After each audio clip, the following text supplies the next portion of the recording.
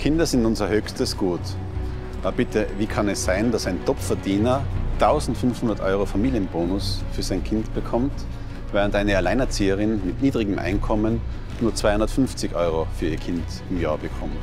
Auf der einen Seite 250 Euro, auf der anderen 1500 Euro. Sind die Kinder jetzt unterschiedlich viel wert?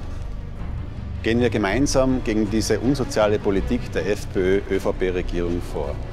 Wir, die sozialdemokratische Fraktion der Arbeiterkammer Tirols, sind für dich da.